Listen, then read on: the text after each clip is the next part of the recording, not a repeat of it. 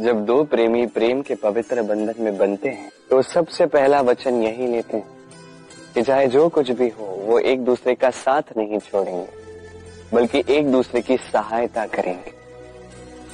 लक्ष्मी नारायण का ये रूप, मत्स्यावतार और कल्याणी की ये प्रेम कहानी, इससे हमें यही सीख मिलती है तुम भी तो यही करते हो ना, कृष्ण? जब जब मुझ पर कोई संकट आता है सदैव मेरी सहायता के लिए वहाँ आ जाते हो। और इसी प्रकार सदैव आता रहूँगा राधा। पारिशुद्ध प्रेम का यही तो सबसे पहला और सबसे महत्वपूर्ण वचन है।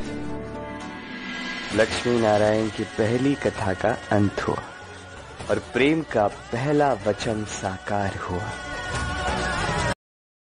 चैट